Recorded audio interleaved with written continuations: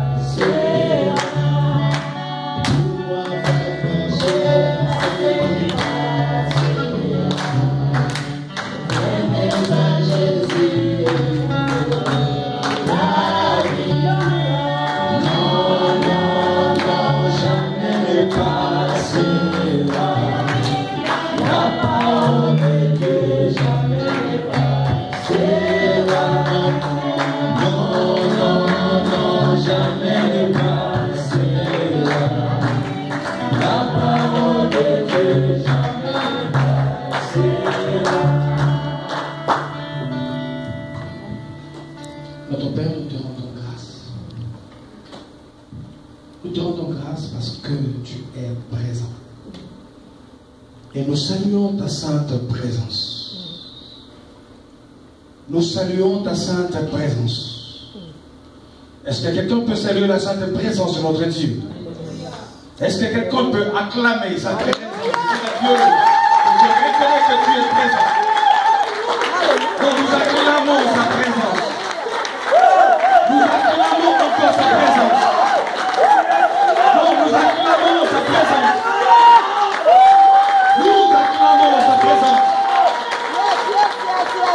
Nous acclamons la présence de Dieu. Acclame encore sa présence. Voici l'agneau de Dieu. Il mérite d'être acclamé, célébré et élevé encore. Voici l'agneau de Dieu. Voici l'agneau de Dieu. Il mérite des acclamations, des célébrations.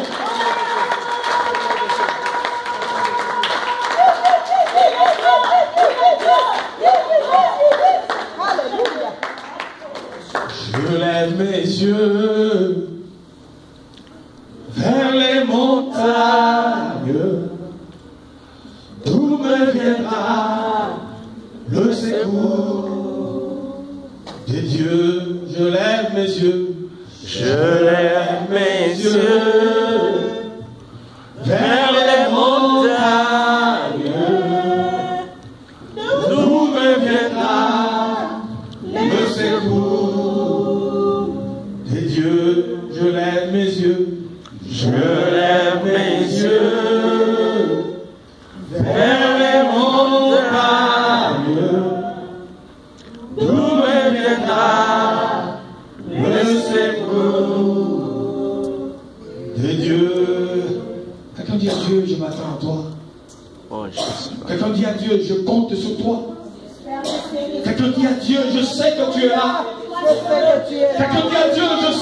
sais qu'il y a ma part.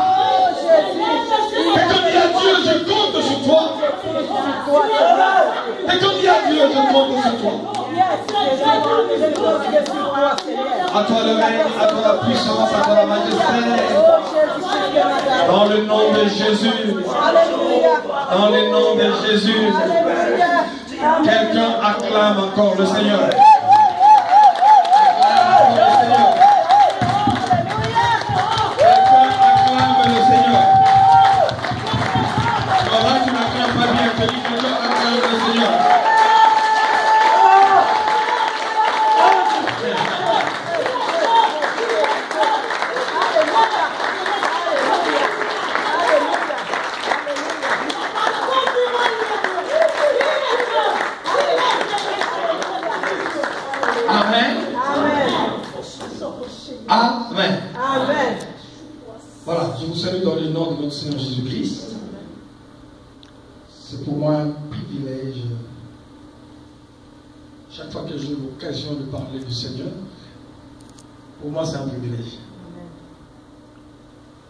Je voudrais dire à quelqu'un, si tu penses peut-être que tu es là par hasard, non, non, non, non. C'est une opportunité que Dieu nous donne ce soir. Je voudrais dire à quelqu'un que tu ne regretteras pas ce temps-là que Dieu t'a donné. Parce que Dieu l'a préparé pour quelqu'un. Je salue la présence de chacun de nous, nous qui sommes là, nous qui nous sommes déplacés. Parce que je vois des gens, euh, il n'y a pas très longtemps en France, les gens viennent dans un match de football, ils payent. Les gens sont en train de payer pour entrer dans le bistrot. Les gens sont en train de payer pour, pour entrer bien aimé dans un, salon de massage, dans un salon de coiffure. Les gens payent. Les gens sont en train de payer pour ceci, pour cela, pour cela. Mais toi, tu as choisi justement librement d'être là ce soir parce que tu as fait un très bon choix. Amen. Est-ce qu'on est ensemble? Amen. Un choix que tu ne vas pas regretter. Amen. Gloire soit rendue à, notre Seigneur. Je salue euh, mon épouse, le pasteur Marie-Thérèse. Nous sommes de la France et de passage. Et chaque fois que l'occasion nous est demandée pour parler du Seigneur, en tout cas, c'est sans délai. C'est sans délai. Je dis, Seigneur, c'est une opportunité qui nous est donnée pour que nous puissions parler de toi. Est-ce qu'on est ensemble? Je salue également nos frères et sœurs qui ont organisé ces assises-là pour la ville pour la ville parce que nous travaillons pour bénir également l'église corps du Christ. Vous savez, il y a l'église locale, mais également l'église corps du Christ. Composée de l'ensemble de chrétiens, ceux-là qui reconnaissent Jésus comme Seigneur et Sauveur.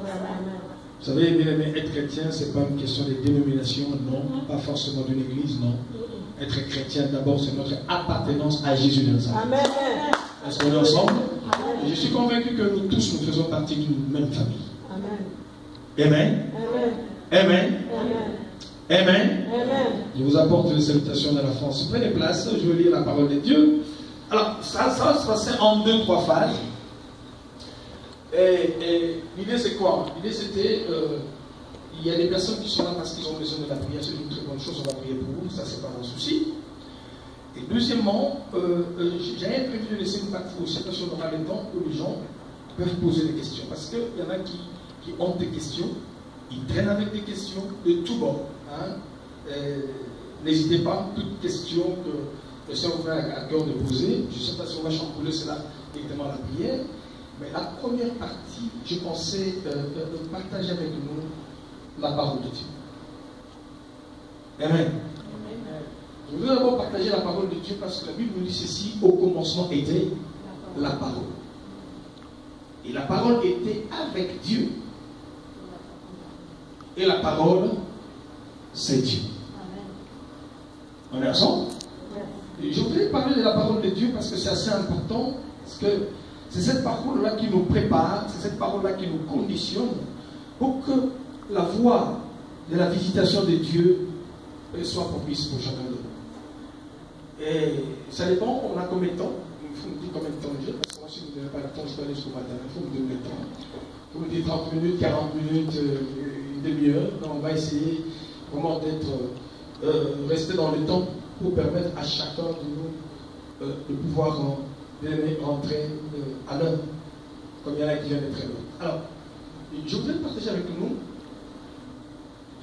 sur un thème assez important. Savoir attendre le secours de Dieu.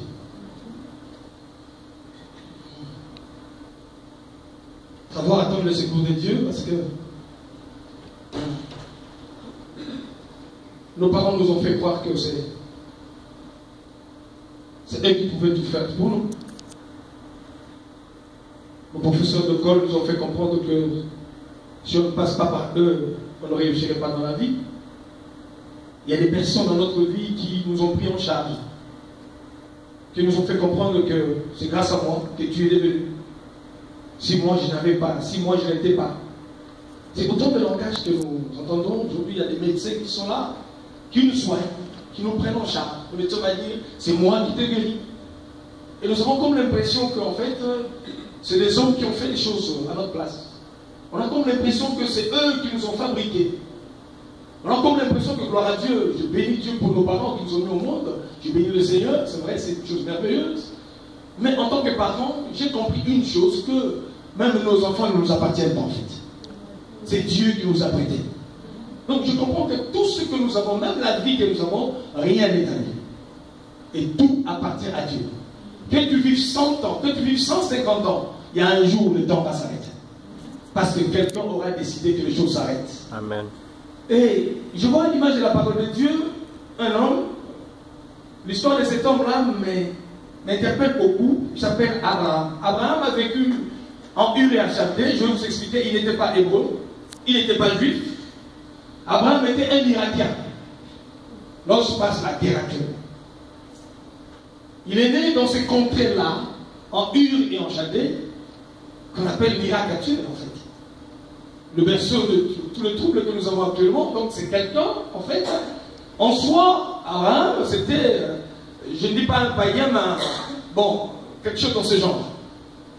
Abraham qui vit dans son coin jusqu'à un âge assez avancé, 75 ans.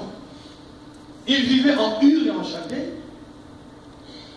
Et il avait une femme, une femme qui s'appelait Sarai. Lui, il ne s'appelait pas Abraham, tout court. Il s'appelait Abraham.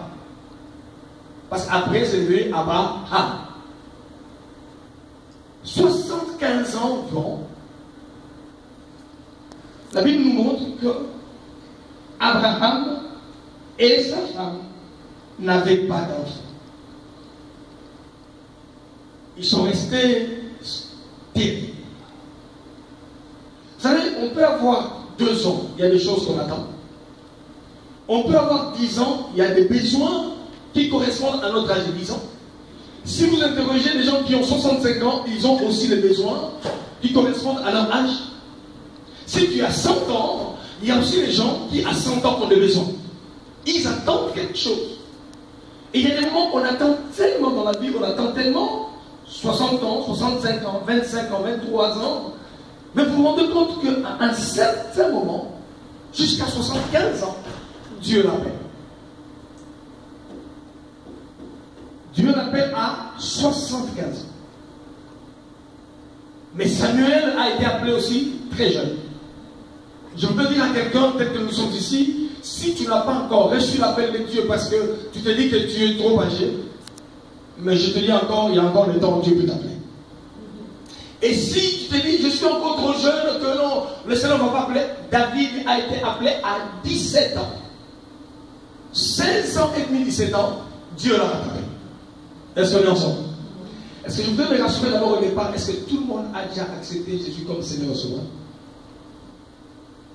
Est-ce qu'il y a quelqu'un qui n'a pas encore fait la prière d'acceptation?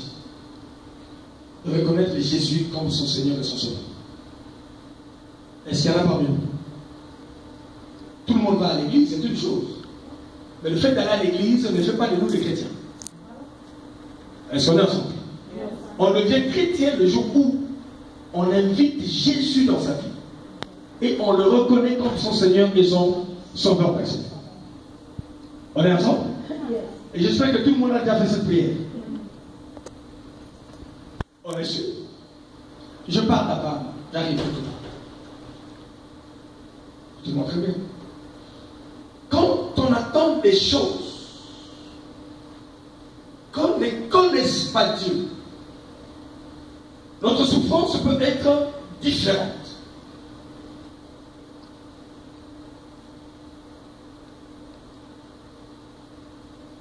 Merci. Quand on ne connaît pas Dieu, c'est une chose. On peut s'attendre à beaucoup de choses de la part de tout le monde. Le médecin peut nous soigner. Nos parents peuvent nous aider. On peut recevoir de l'aide des hommes bien aimés de tout le monde d'ailleurs. Quand on ne connaît pas Dieu, ce n'est pas un souci. Le médecin peut nous soigner, on se dit, bon, le médecin n'a pas réussi. Quand on ne connaît pas Dieu, c'est normal, on peut dire, je peux être au chômage, bon, c'est pas grave, je trouverai du travail.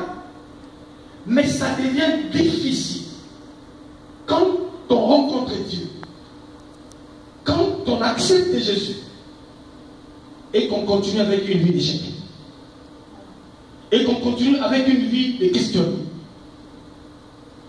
Et qu'on continue avec une vie où je ne vois pas trop clair vie. Quand on ne connaît pas le Seigneur, c'est une chose.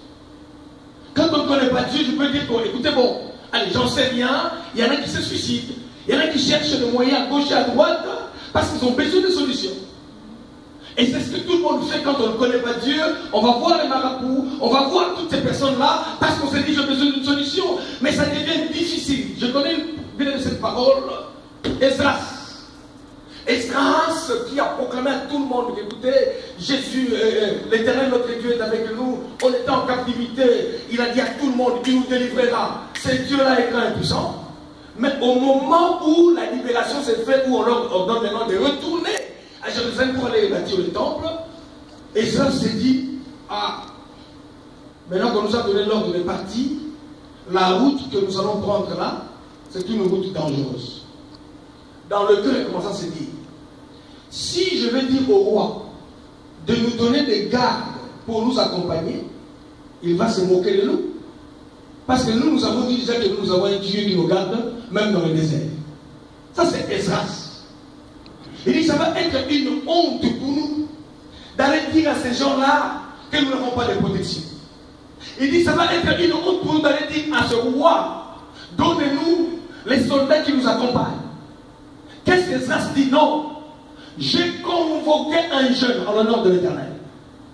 J'ai convoqué les gens, nous allons jeûner et prier pour que Dieu puisse nous précéder même dans le désert. je ne sais pas comment ça se passe entre les gens qui ne prient pas et nous qui prions. Et quand ces gens-là constatent que nous, nous menons une vie, bien qui ne prie pas, les gens qui sont autour de nous se disent que, mais où est leur Dieu? Nous avons comme l'impression que eux, ils réussissent, que nous, nous échouons. Nous avons comme l'impression que non, Dieu est de l'autre côté et Dieu n'est pas de l'autre côté. Je veux assurer quelqu'un bien aimé. Notre Dieu, même si avec nos yeux physiques, on ne le voit pas, il est omniscient, omniprésent et dit Je dis à quelqu'un bien aimé, même si tu ne le vois pas, c'est Dieu là et là.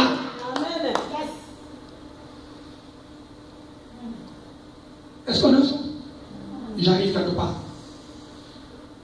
Se passe dans votre cœur quand vous avez l'impression que Dieu ne répond pas Qu'est-ce qui se passe alors que j'ai la Bible, je prie, je jeûne, j'adore, je célèbre le Seigneur, mais j'ai l'impression que c'est comme si mon ciel est fermé.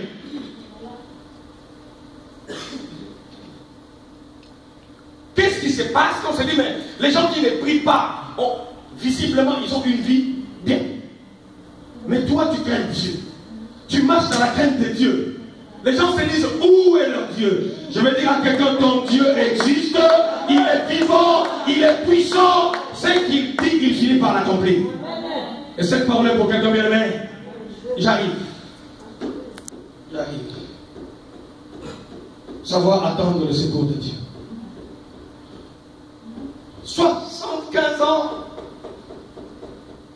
Tu vas dire, j'ai fait 20 ans en Amérique. Tu vas dire, mais j'ai fait 15 ans dans ce pays. Tu vas dire que j'ai fait 18 ans, 32 ans, 34 ans. Les gens, des fois, se moquent de toi. Des fois, tu parles de Jésus, ils se disent, mais où est ce Dieu dans sa vie? Des fois, tu lis cette parole, tu nous, tu nous tu dis, est-ce que, est-ce que, est-ce que c'est Dieu là et là? Je vais dire à quelqu'un, il est tellement présent, il est tellement puissant. Amen.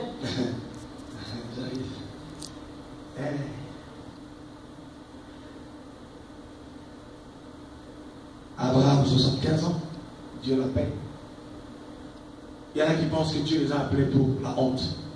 Il y en a qui disent que quand je ne priais pas, tout allait bien. Il paraît. Il paraît quand tu ne priais pas que tout allait bien. Et maintenant que tu pries, tout devient difficile. Il paraît. Est-ce que je parle à quelqu'un? 75 ans. Dieu l'appelle. Abraham à un certain moment fatigué des promesses, fatigué des choses. Il est allé s'asseoir quelque part. La Bible dit, j'aime ce texte de Genèse, je lis un seul verset l'Éternel lui apparut parmi les chaînes des Mamré. Comme il était assis, ça c'est Genèse 18, verset 1, à l'entrée de sa tente pendant la chaleur du jour. J'ai entendu les gens qui disent que bon, nous, on a tout prié, mais pasteur, je crois qu'on va rester encore à la maison. Parce qu'apparemment, Dieu ne répond pas. Abraham est resté au même endroit. Il y en a qui vont changer l'église, il paraît. Ils changent même de Dieu, il paraît. Parce que il paraît que le Dieu là ne répond pas. Mais Abraham, malgré la souffrance, je dis à quelqu'un ne change pas de langage, Amen. ne change pas de confession. Persiste et signe que Jésus est Seigneur, qu'il me connaît, que ce qu'il avait dit, il accomplira. Amen. Abraham assis. Notre problème est que nous avons du mal à nous asseoir dans notre foi. On a du mal, bien aimé, à être dans une position fixe dans notre foi. Une fois qu'il varie le matin, qu'il varie le midi, qu'il le soir. Mais la Bible dit Abraham était assis.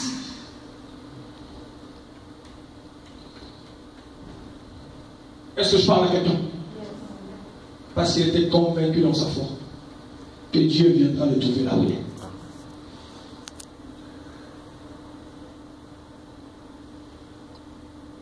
On arrête les trois jeunes hommes. Shadrach, Meshach et Abednego. Les trois jeunes garçons hébreux. Et le roi a dit, écoutez, j'ai mis une loi dans cette nation. On n'adorera plus à notre Dieu. Je parle à quelqu'un. Hum. On n'adorera pas. On ne parlera pas de notre Dieu. On vient surprendre ces trois jeunes hommes-là en train de célébrer le Dieu d'Israël. La menace était là, on a arrêté ces jeunes. On les a mis en prison. Le roi a dit une chose. Si vous continuez de célébrer votre Dieu, on vous mettra dans une fournaise.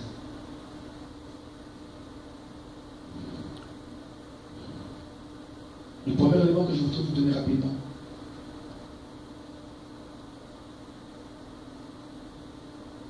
Pour quelqu'un qui sait attendre le secours de Dieu, la première réalité qu'il faut jamais oublier, nous devons mettre dans notre esprit que Dieu existe. Si les problèmes existent, je dis à quelqu'un, Dieu existe. Si la maladie existe, je dis à quelqu'un, Dieu existe. Si la pauvreté existe, je dis à quelqu'un, Dieu existe.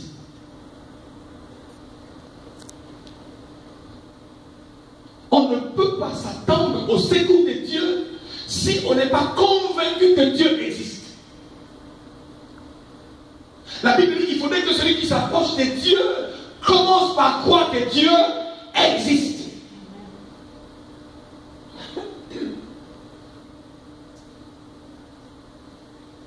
Deuxième élément, puisque Dieu existe, celui qui sait attendre le secours de Dieu, c'est que Dieu me connaît. Est-ce que quelqu'un peut me dire que je sais que Dieu me connaît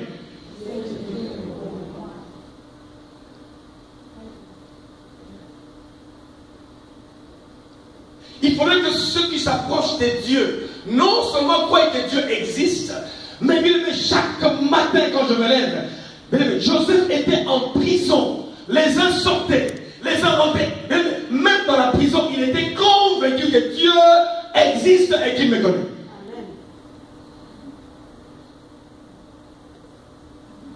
Est-ce qu'on est ensemble Premier élément, Dieu existe.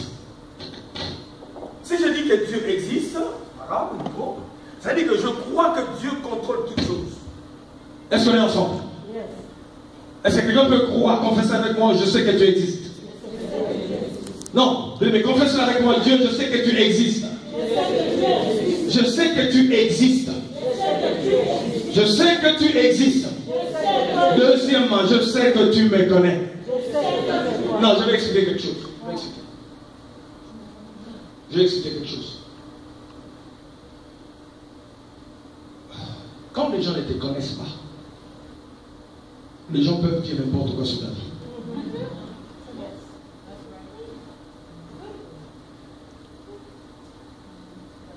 Est-ce que je parle à quelqu'un? Est-ce que cette parole est pour quelqu'un? Dis au voisin qui est à côté de moi, tu ne me connais pas.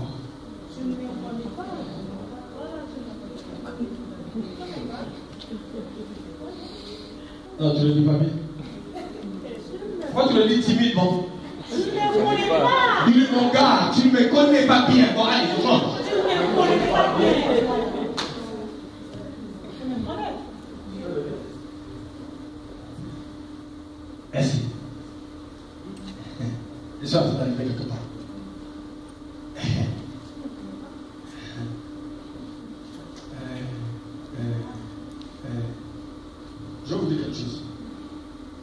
J'ai peur d'une seule personne dans ma vie.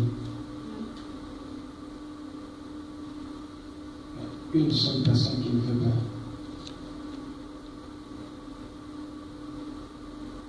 C'est Obama, non François Hollande. La police. J'ai peur d'une seule personne.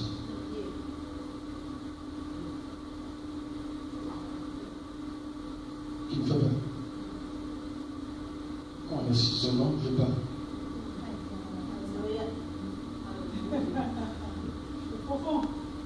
qu'on est ensemble Je répète encore. Moi, j'ai peur d'une seule personne. Mon père, peut-être pas justement.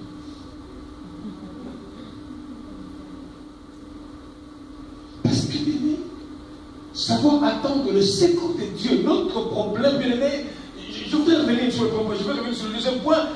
Nous croyons vraiment que nous sommes le hasard de l'histoire.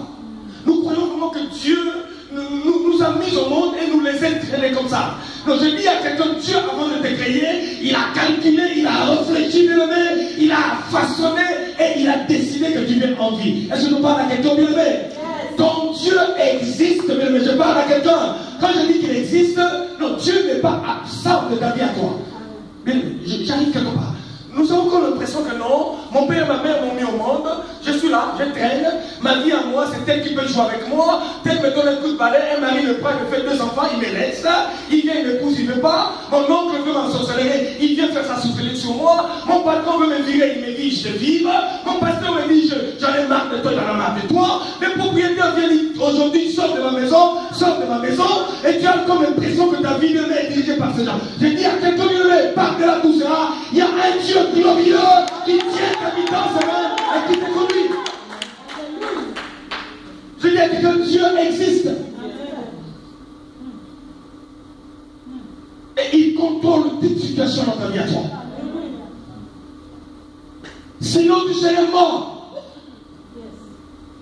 Sinon tu ne serais pas, sinon tu es.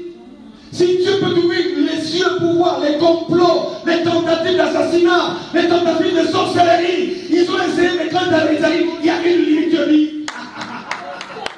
Cette limite, tu ne passeras. C'est pour ça que tu veux acclamer, proclamer Dieu, tu dis à Dieu, tu es mort.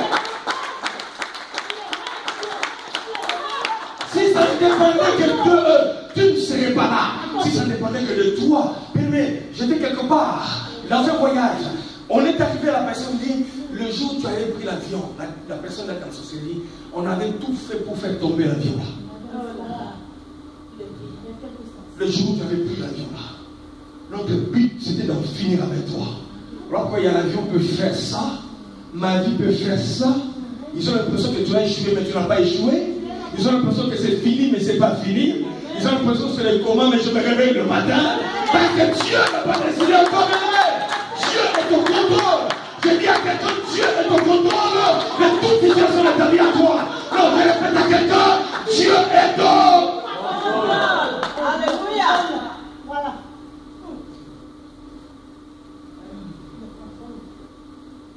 Est-ce qu'on est ensemble? Est-ce qu'on est ensemble? Est-ce qu'on est ensemble? Mais quand je pense à ça, je dors tranquille. Je marche tête haute. Je souris même quand tout le monde ne sourit pas, moi je souris.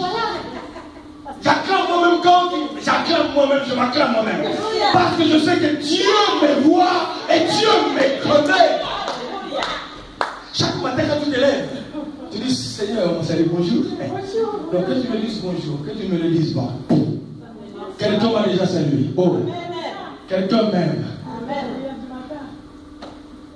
Qui sait que Dieu existe Alors pourquoi tu te lamentes ne m'a pas salué. On s'en fout qu'il ne me salue pas. Dieu m'a déjà salué. Est-ce qu'on est ensemble? Yes. Oh, on n'a pas parlé de moi, mais Dieu a déjà bien parlé de moi. Oh Quelqu'un dit Dieu existe? Quelqu'un dit Dieu existe? Si les sorciers existent, même les sorciers ont compris que non, cette femme-là, son Dieu existe. Eh, Même les sorciers savent que cet homme-là, son Dieu. Existe peut-être vous ne le savez pas, allez leur demander. J'arrive, j'arrive quelque part. J'arrive quelque part. J'arrive. L'erreur de Nebuchadnezzar, c'était d'arrêter les trois jeunes Non, le goût de non, arrêtez-nous si tu veux. Dans la fournaise, ok, d'accord. Il dit, l'erreur c'était quoi? Il aurait dit, chauffez-moi seulement deux fois. Chauffez seulement deux fois. Ça, ça, ça aurait marché. Ils auraient souffert, ils auraient souffert, ils auraient souffert. Bon, chauffez quatre fois, ça va. Mais il a dit, chauffez-le jusqu'à à sept Il y a des chiffres que Dieu n'aime pas entendre. Est-ce que je parle à quelqu'un bien aimé. Quand ils ont dit qu'il souffle du pied, il est sur d'accord. Qu'il souffle de la jambe, ok, ça, ça c'est réglé. Quand ils vont dire seulement, maintenant on a décidé la mort, Dieu dit, ensemble. Est-ce que tu sais que Dieu existe Yes. Bon, je change. Tu sais que ton Dieu existe. Yes. Amen. Quand je parle de ton Dieu, c'est celui qui veille sur toi, c'est celui qui te garde, c'est celui qui te protège, et puis les mêmes minute après minute, c'est celui qui sécurise ton sommeil pendant que toi tu dors. Il y a une bataille contre pour ta vie, alors que toi tu ne sais pas que Dieu est en train de se battre pour toi. Il convainc bien aimé ceux qui voulaient te faire du mal, de changer la vie, bien aimé. Tout ça c'est Dieu. Acclame, c'est Dieu qui dit que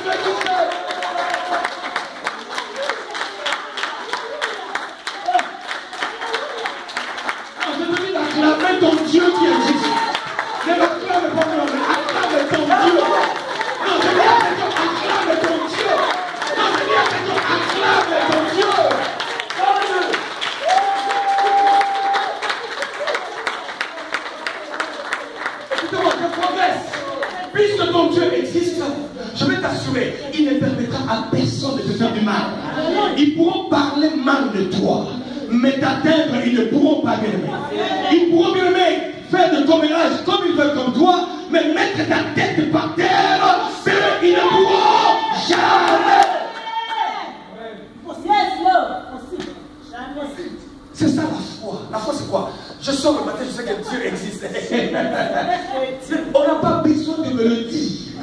Je le sais dans mon cœur, je le sens dans mon esprit et je le réalise que Dieu existe. Pourquoi les temps en cours de chemin, j'ai dit Seigneur, bisous, Jésus. tu es là, je sais. Ah, Est-ce qu'on est ensemble? Est-ce qu'on est ensemble, Alors, Est-ce que quelqu'un réalise que Dieu existe? Seigneur. Je ne l'ai point vu.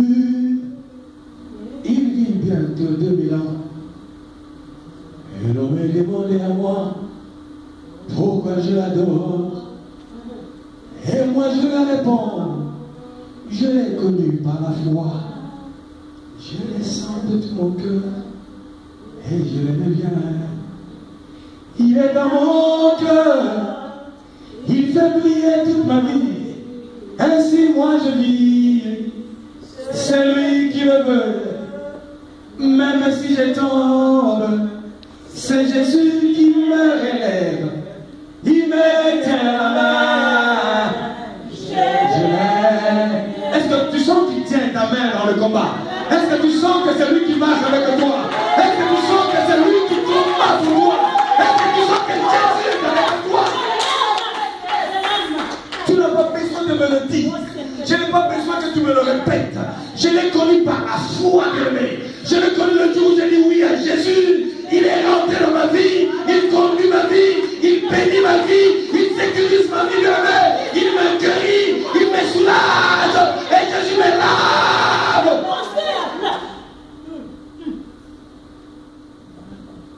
Tu peux venir dix mille fois à l'église tant que tu ne connais pas cette vérité. Les sorciers vont jouer avec toi. Ils doivent se rendre compte que celui-là n'est pas n'importe qui. Pas n'importe qui. Quelqu'un dit Dieu existe. Est-ce que quelqu'un peut le dire avec détermination Je sais que tu existes. Comment on peut lapider Étienne Étienne est on est en train, il est mort, on est en train de le lapider avec des coups de pied. On est en train, pourquoi quand on t'insulte, je viens plus à l'église Ah non Mais le moi, si tu m'insultes, je te regarde en face. Est-ce qu'on est ensemble? Est-ce qu'on est ensemble? Tu viens en face, je viens en face. Tu souris, je souris. Amen. Oh, est-ce qu'on est ensemble? Quand tu me regardes, je ne fais pas ça. Non, tu me regardes, je te regarde. Pour te dire que j'ai un Dieu qui existe. Amen. Pour te dire que j'ai un Dieu qui prendra ma défense. Amen. Pour te dire que j'ai un Dieu qui a le dernier mot sur ma vie. Amen. Est-ce qu'on est ensemble? Est-ce qu'on peut acclamer Jésus de Acclamez-le bien, acclamez-le bien, acclamez-le bien, acclamez-le bien.